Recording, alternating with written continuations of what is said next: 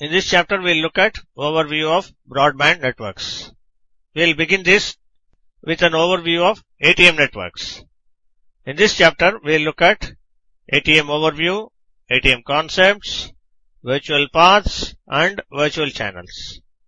Then we'll move on to ATM in a little more detail, such as ATM network, ATM services, the operation of ATM, and the various connections that go with ATM. Next, we'll look at the formats, protocols, and layers. We'll look at cell format and header format in particular. We'll understand the layer structures, and we'll also look at protocol architecture briefly. Then, more on ATM would be a comparison between ATM and LAN, ATM transmission media, physical interface rates, and transmission over ATM. Over to ATM now.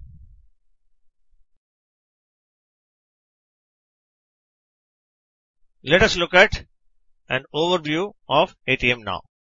What do we have today in telecommunications? There are too many networks. There are networks for telephony, networks for data, networks for PAN, LAN, MAN, WAN and what have you, networks for corporates, networks for packet switched, network for cable TV, networks for mobile communications, networks for wired and wireless, and of course, the big internet. In short, there are networks and networks and networks. Look at this table and look at the conflicting service requirements for each of these networks.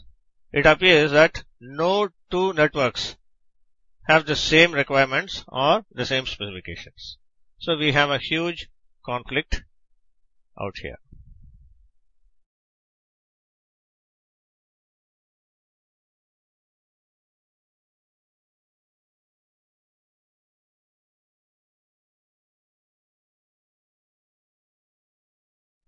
So what do we need? A transport technology that would accommodate a mix of voice, data and video services simultaneously. This is the first requirement. Should be simple enough to provide complete network transparency to the user. Of course, it should be desktop to desktop technology worldwide, phone to phone worldwide. Eventually, it should replace today's multiple platforms, should have the scalability, should have the flexibility, it must support all speeds, all distances, all delays and jitters. You are already seeing the conflicting requirements for a single network to handle.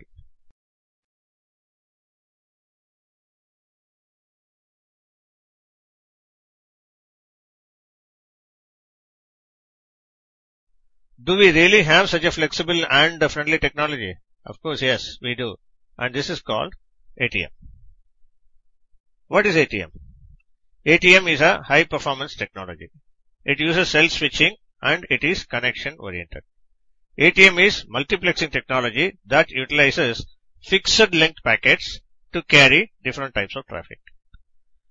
ATM is the next generation networking technology to be used on the information superhighway.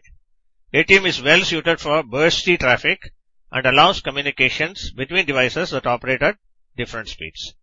ATM was developed in the 1970s and 1980s. It's hardly 25 to 30 years old as of now. ATM is a telecommunications concept defined by ANSI and ITU committees for the transport of broad range of user information. ATM forum plays a vital role in the ATM technology specifications. ITU approves this specification. ITU-T and ATM forums work closely on this.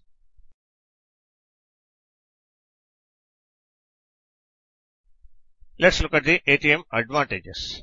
There are plenty of them. ATM is good for multiplexing. It's independent of the physical layers. It's asynchronous in nature, flexible in bandwidth allocation. ATM delivers bandwidth on demand. It is not dependent on applications and works at a data rate from 1.5 Mbps to 2 Gbps. The ATM addresses in each cell allows easy add and drop multiplexing. It's good for switching, fixed size cell units, hardware optimization, routing and control information contained in each cell, and very low processing overhead. We'll see each of these in detail as we go along. A much wider array of information can be transmitted using ATM technology. For example, voice, data, images, CATV scans, MRI images, and video conferencing. All types of networkings from LANs to WANs and from backbone to desktop can be integrated by ATM technology.